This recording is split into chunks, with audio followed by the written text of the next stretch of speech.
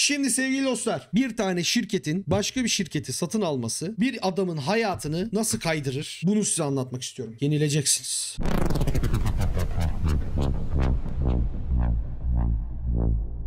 Şimdi bak hikaye şu. En son bir iki tane videom vardı. O videolarda şey sormuşsunuz. Danimarka'ya ilk geldiğin dönemde hep bir anlattığın kovulma olma hikayesi var. Bu iş nasıl oldu? Nasıl bu noktaya geldi falan diye. Ben de şey düşündüm. Hani bu olayda bir şey yok aslında baktığın zaman. Tırvırı bir mevzu. Ama olayı bir derinlemesini incelediğimiz zaman, bir detaylarına baktığımız zaman dünyadaki siber güvenlik camiası açısından önemli bir takım mesajlar barındırıyor içerisinde. Hem de vardığı nokta anlamında hayatımızda yaşadığımız ufak tefek hadiselerin veya bizim dışımızda gerçekleşen abidik gubidik olayların bize nasıl saçma sapan tepkiler verebileceğini, etkileri olabileceği mevzusunu anlatmak istiyorum size. 2009 yılında mıydı? 2010 yılında mıydı? Çok net hatırlamıyorum inan olsun. Şöyle bir şey vardı. IBM yanlış hatırlamıyorsam ISS miydi, XSS miydi? Öyle bir tane güvenlik firması vardı. X-Force, X-Force. Ha, X-Force satın aldı IBM. Oğlum IBM'in bu adamları satın alması ve CM işine girmesi yani log yönetimi işine girmesi falan siber güvenlik camiasında, bilgi güvenliği camiasında bir tuhaf karşılandı. Allah Allah yani IBM sunucu yapan adam ne alaka güvenlik firması falan dendi. Allah Allah dedik yani bu bu ne iş ya? Ne alaka yani? Neyse çok da bilgimizden değil hani ben de o zamanlar çok tecrübeli değilim. Yani bildiğim hadiseler değil. Bir şirket yönetim stratejileri neden yapılır falan filan diye öyle bildiğim hakim olduğum konular değil. Peşi sıra o olayın ardından arkadaşlar biz çok enteresan firmaların siber güvenlik firmalarını satın almalarını görmeye başladık. 2010'un sonlarına doğru olması lazım. Team'de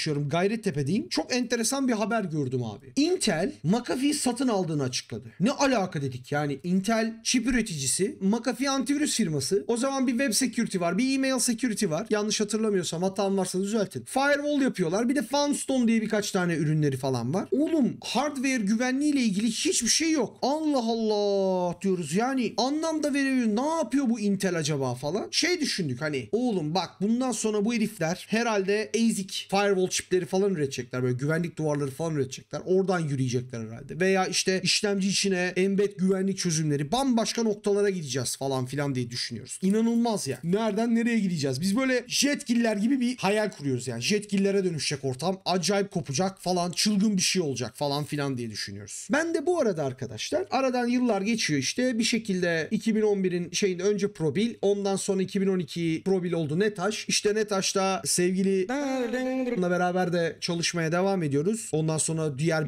hepsiyle beraber bu arada bir sürü vardı Netaş'ta. Hepsine de selam olsun burada. McAfee'den hiç ses çıkmıyor. Bu arada Symantec falan böyle bir atılımlar falan yapıyor. Böyle büyüyor büyüyor bir şeyler oluyor falan. McAfee'den hiç ses çıkmıyor ama yani. Yeni ürünler yok, bir şeyler yok. 2011'de bu Netaş'a geçmeden hemen önce Inforte diye bir firmada çalışıyordum. Inforte'deyken Palo Alto Networks'ün distribütörlüğünü yapıyorduk. Sonra o distribütörlükten değişti. Alternatif firewall'lar bakıyoruz. Oğlum bir tane firewall firması geldi. Cezayirli bir abi gelmişti. Firma Finlandiyalı. Çok detay verip firmanın detaylarını anlatmayacağım ama firewall cidden kötü yani iş yapıyor ama Palo Alto Networks'la falan kapışması mümkün değil. Ve bariz belli yani ne yazık ki hiçbir şey yapamayacak durumda. Adamlar çok iyi bir teknoloji geliştirmişler. Müthiş bir şey yakalamışlar. Aslında çalışsa çok güzel bir şekilde otursa ortama müthiş işler çıkacak ama bir şey eksik yani tamam? Böyle içime sinmiyor yani ürünle ilgili bir şey. Abi bu Intel McAfee'yi satın aldıktan sonra gitti bu firewall firmasını da satın aldı. Vay dedim anasını satayım olaya bak ne kadar güzel. Demek ki dedim buradan böyle bir şeyler yapacaklar bunlar büyüyecekler. Ama diyorum hani firewall'dan bu adamlar şey yapamazlar. Yani işte Fallout'o falan var hani takır tukur adamlar zorlanacaklar yani. Bu bu işle bu ürünle olmazmış falan diyorum. Neyse abi birin üçün beşin günün neyse geçti böyle. Benim bu Danimarka'ya gelme mevzum açıldı. Şimdi ben bu Danimarka mevzusunu açıldı. Netaş'taki yöneticilerimle falan görüştüm. Oradan bir şekilde bir fırsat oldu. Fırsat McAfee. McAfee ile ilgili Avrupa'da bir pozisyon. Orada bir eğitmenlik pozisyonu. Aa dedim süper. İş görüşmelerini falan filan yaptım. Amsterdam'a gittim. Bu McAfee ile falan görüşmek için. Abi sunum yapacağım. Binası böyle tam e, Schiphol havaalanının yanında tamam mı McAfee'nin? Girdim böyle içeri falan. İçeride böyle dev ekranlar bütün atakları falan seyrediyor. Ulan dedim nereye geldik? Herhalde NASA. Burası NASA olsa gerek. Yanlış gelmediysem eğer falan böyle. Kafayı çeviriyorum. Sol tarafımda üstünde airbrush'la McAfee desenleri yapılmış bir chopper motosiklet falan duruyor böyle. Dedim bu ne ya?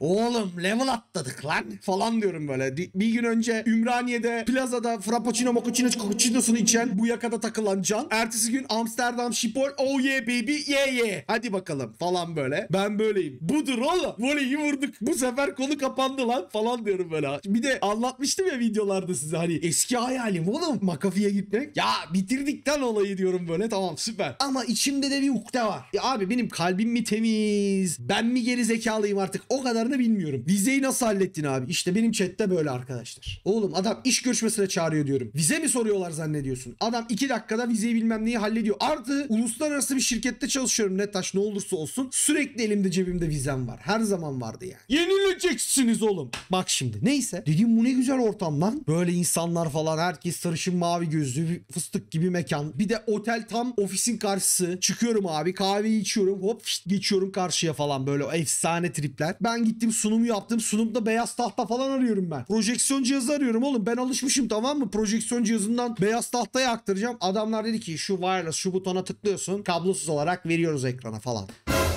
Dedim bu ne? Bu nasıl bir yer oğlum? Adamlar barınakla ekrana bir şey aktarıyorlar. Bu ne biçim bir yer falan diye. Yıl 2014 arkadaşlar. 7 sene öncesinden bahsediyorum. Dikkatinizi çekerim. Bugün her yerde var onlar da. 7 sene önce teknoloji dedim. Bu ne ya? Anam işe bak ne kadar güzel ne kadar güzel. Neyse ben sunumumu yaptım. Beğendiler. Harika. İşe alındık. Danimarka'ya geldim. Ben şimdi işe başlıyorum. Eğitimlere gidiyoruz. Ben eğitimleri veriyorum. Oğlum benim yönetici Hatun sürekli mutsuz. Allah Allah diyorum. Ben niye mutsuz acaba bu falan diye. Ama sürekli böyle can diyor senin diyor agresyon sorunun var. Nasıl yani? Sen diyor sinirlerini yönetemiyorsun diyor. Allah Allah diyorum ben kimseye sinir yapmadım oysa ki ama bir değişik bir durum. Bir tane de diye LGBT bir arkadaşımız var. Oğlum adam mütemadiyen gidiyor benim yaptığım şeyleri mesela bir sunum hazırlanacak bir konu veriliyor bize. Onunla ilgili bir eğitim paketi hazırlayacak. Onunla ilgili bir sunum hazırlanacak. Abi Amerikalılar hayatta Avrupa ekibinden birini seçmiyorlar. Niye? Bilmiyorum. Seçmiyorlar. Hep Amerikalılar seçiliyor nedense. Memlekette adam kalmadı. 25 kişilik ekip bir türlü olmuyor. Hep anasını satayım şeyi seçiyorlar. Amerika'dan birilerini seçiyorlar. Bu Amerikalılar da enteresan. Oğlum adama diyorum ki abi diyorum bak şöyle anlat böyle anlat. Bu analojiyi kullan. Bu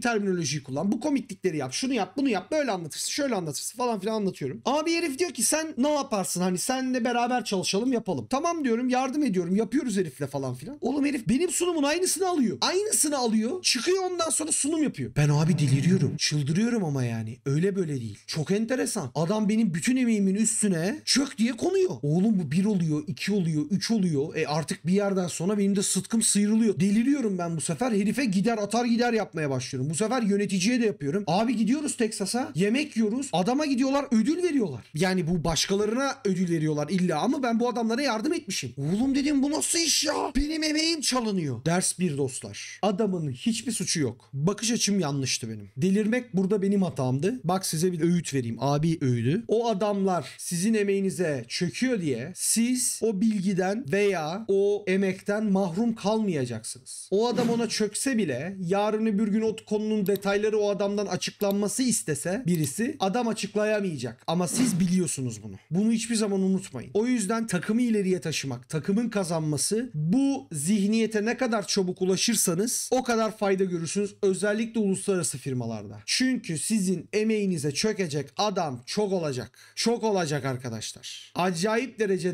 pis mevzular dönecek. O yüzden bunlara alışmak lazım. Ha benim yaptığım acemiliği yaparsanız ne olur? Sizin agresyon problemleriniz olduğunu düşünürler. Allah Allah dedim niye benim sinirli zannediyorlar acaba? Bu arada ben sürekli ters ters dikine dikine konuşuyorum. Bana dediler ki benim arkada herkes dikine dikine konuşur birbirine. Rahat rahat dikine dikine konuşabilirsin yöneticilerine dediler. Tamam dedim Amerikalılarına dikine dikine konuşmaya başladım. Sıkıntı çıktı. Öyle olmuyormuş. Hani senin Danimarka'dan maaş aldığın pek Amerikalıyı ilgilendirmiyormuş arkadaşlar. Abi kadın bana psikolojik test falan vermeye başladı bir yerden sonra. Niye bu noktaya geldik biz ben anlamadım ki. Niye ben deli muamelesi görüyorum bu şirkette? Niye bana böyle işler yapıyorlar? Neyse abi biz konumuza geri dönelim. Neydi? Şirket alımının nasıl etkisinden bahsedecektik değil mi? Abi ben bir yandan şirketten böyle bir psikolojik savaş halindeyim. Amerikalılarla kendi aramda sürekli bir didişme modundayım ama mevzumuz bu değil. Mevzu bambaşka. Biz böyle takılıyoruz güzel güzel. Ulan dedim bir yerde bizi Intel satın almadı mı? Bizim niye adımız hala McAfee? Intel bizim adımızı değiştirmeyecek miydi? Niye bizim adımız Intel değil? Sonra abi bir anda isimler değişecek her şey Intel olacak diye ani bir karar çıktı. Ben böyle ben bunu bilmiştim. Bu benim vallahi aklıma gelmişti. Ben bunu biliyorum. Allah dedim müthiş. Artık Intel hayalimiz de gerçek olacak. Bitti. Intel hayalimiz de gerçek oluyor. Çünkü Intel benim çocukluk hayalim. Intel'de çalışacağım. Muhteşem bir duygu. Harika. Dediler ki abi Intel e-mail'larınız olacak. Ben böyle Ya lan. Can değeriyim Intel.com. Yeah falan diye böyle. Var ya kılımı kıpırdatmadan Intel'li oldum oğlum. Budur lan falan diyorum böyle. Ben böyle işte çalışıyorum onun koşuyor bilmem ne. Abi logolar değişti. Intel Security oldu adımız. Yanına da McAfee logosu geldi. Ben ama nasıl bir marka bağımlısıyım? Nasıl bir böyle tişört bastırdım. Tişörtlerini giyiyorum çünkü. Vermiyor Amerikalılar bize. Hepsini kendileri swaglerin hepsi Amerika'da. Bize hiçbir şey verilmiyor. Neyse. Aradan bir sene geçti geçmedi. Ben işte Danimarka'dayım hala biliyorsunuz. Onun bizim eğitim sayılarımız bir azalmaya başladı. Allah Allah. Bir azaldı. Bir saçma sapan bir şey oldu. Allah Allah. İnsanlar böyle eğitim almıyorlar. Biz gidemiyoruz. Travel ediyorduk. Edemiyoruz artık falan. Oğlum Intel olduktan sonra market zararı başladı. Düşüşler başladı. Allah Allah diyoruz falan. Neyse. Oğlum Intel adı McAfee'nin önüne geldikten sonra enteresan bir şekilde firma güven indeksi azalmaya başladı. Çok ilginç bir şekilde. Ve Intel'in pazar payı küçülmeye başladı. Biz bu arada bir firewall satışı yapıyoruz. Firewall satışında da o dandik firewall ürünü var önümüzde. Oğlum adamlar ürünü kurtarmak için Apple'ın designerlarına interface dizaynı falan yaptırıyorlar. Yani firewall'un yönetim panelini Apple'ın designerları yapıyor. Özellikle hani daha güzel falan filan diye. O kadar yatırımlar falan yapılıyor. Hadi kurtaracağız, hadi kurtaracağız bilmem ne falan filan diye düşünüyoruz. Abi bir türlü olmuyor. Firma ileriye gitmiyor yani. Bunlar abi çatır çatır çatır çatır milleti işten çıkarmaya başladılar. Hayda demeye başladık biz böyle. Oğlum sıra bize gelecek. Zın zın zın zın zın zın zın zın. Bizim tıpak gevşemeye başladı tamam mı?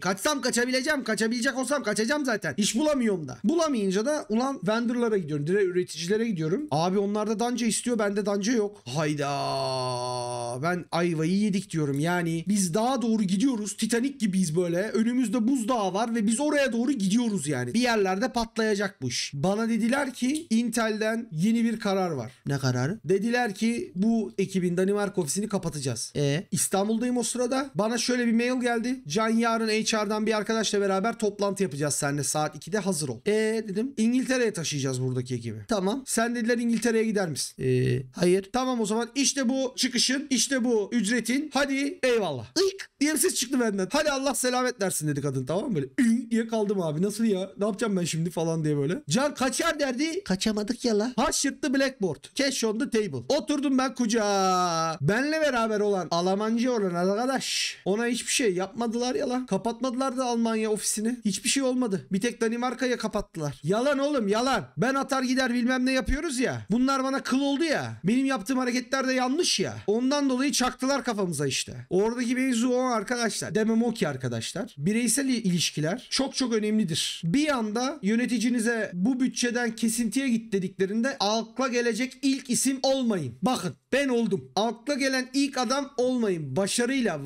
vazgeçilemez adam olarak ilk adam olun. Önemli olan bu. Sonra ne oldu biliyor musun? Oğlum ahım bir tuttu. O 25 kişilik ekibin 19 kişisi kovuldu mu? Ondan sonra gitti o McAfee batıyor diye bilmem ne yatırım firmasına satıldı. Yatırım firması da gerisin geri McAfee'ye bilmem ne kadarına sattı. Bugün de Enterprise şeyinden çıktı mı abi o McAfee? Bütün Enterprise pazarından çıktı herifler. Yemin ediyorum buz gibi su içmiş gibi rahatladım, ferahladım. Yemin ediyorum vallahi billahi. Benim kalbim temiz oğlum. Yenileceksiniz.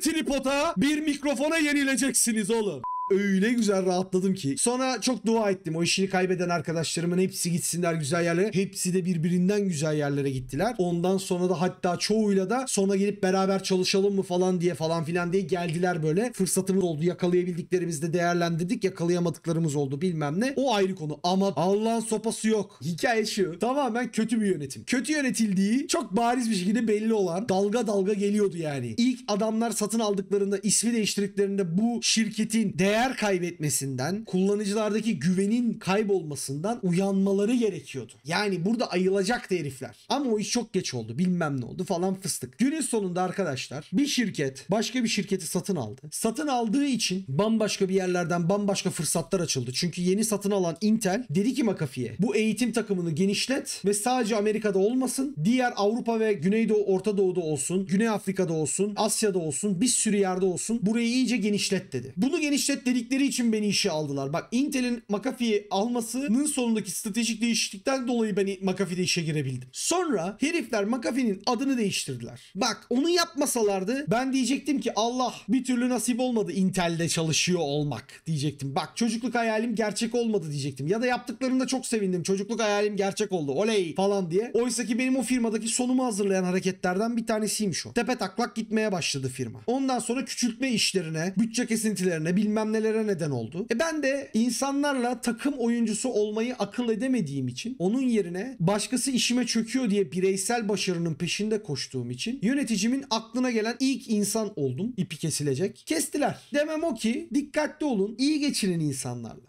kavga etmek ve yapılan her şeyi üstünüze alınmak her zaman doğru olmuyor. Siz akla gelen ilk insan olmayın. Sizin için yapılan işler de sadece sizin için yapılıyor olmayabilir. Başka bir şeyler olabilir arkasında. Onun için çok üstünüze alınmayın ya. Onun eksikliği deyin geçin gidin ya. Adam canınızı sıkan bir şey söylediyse onun eksikliği deyin geçin, geçin, geçin gidin. Gel, gel, gel. Konuşamadım yala.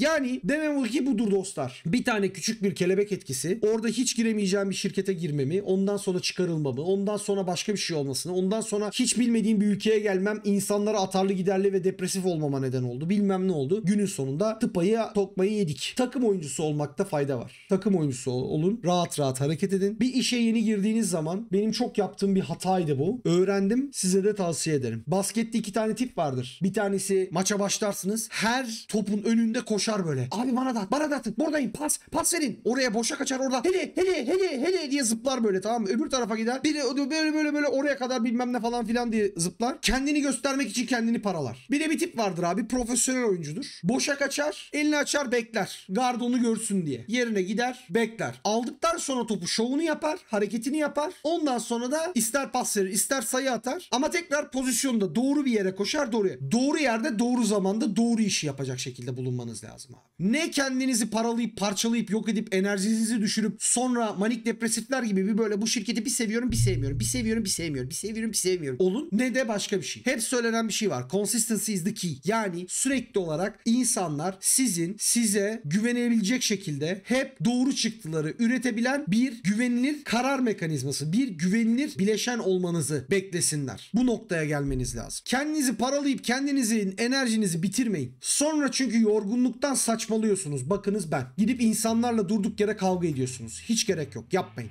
Tamam mı? Hepinizi öpüyorum. Kendinize çok iyi bakın. Allah'a emanet olun. Can kaçar. Bir sonraki videoda görüşürüz. Hadi eyvallah. Abone olun oğlum.